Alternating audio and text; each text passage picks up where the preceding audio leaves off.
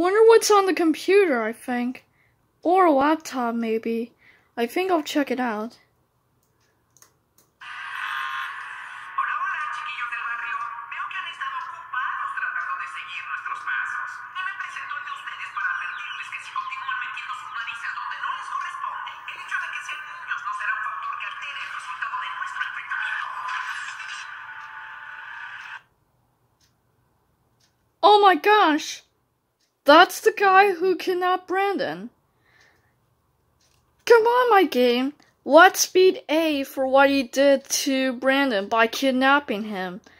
Yeah!